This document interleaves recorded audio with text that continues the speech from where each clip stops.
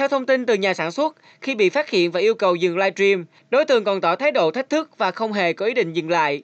Ngay sau đó, đại diện phía các nhà làm phim đã trình báo lên cơ quan có thẩm quyền để tiến hành điều tra. Hiện các bên có chức trách đã tìm ra thông tin cá nhân, bao gồm tên, số điện thoại và địa chỉ công tác của đối tượng vi phạm.